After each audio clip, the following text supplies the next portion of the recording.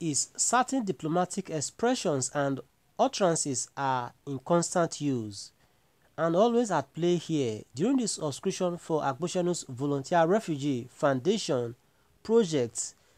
People paid through the Paystack channel and there was no hitch or complaint because as an ICT personnel, I remember making entries for 115 outlets or clusters while quite a number of people ask for extension of payment endlessly. The bone of contention here is the link between Paystack raising highbrow about the volume of payment is a misplaced falsehood that should make us think critically. If there is money as maintained, we can approach banks with a financial instrument that the project is backed by law and government of the day. So no real need for these claims and counterclaims for refunds before we proceed.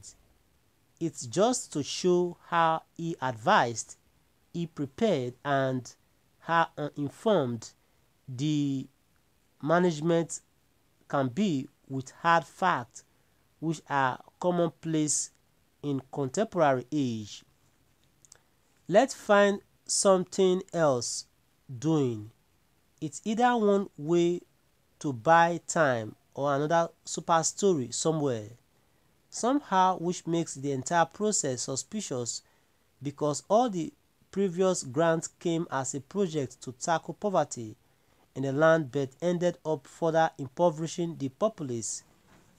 We understand that the project is genuine but the voice notes are oftentimes not reliable because aspersions are implied when you have never kept faith with your own agenda, process, timetable from inception to date.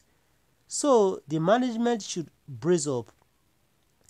The greatest scam is when you claim grant is free but that we need to support partner MOU fees, logistics and the list is endless. We need to factor in the inquisitive and critical thinking public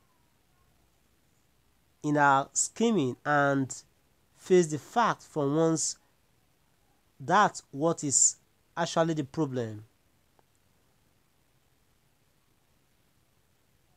I take this uh, last paragraph again please. The greatest scam is when you claim grant is free but that we need to support, partner, MOU fees, logistics and the list is endless. We need to factor in the inquisitive and critical thinking public in our scheming and face the fact for once.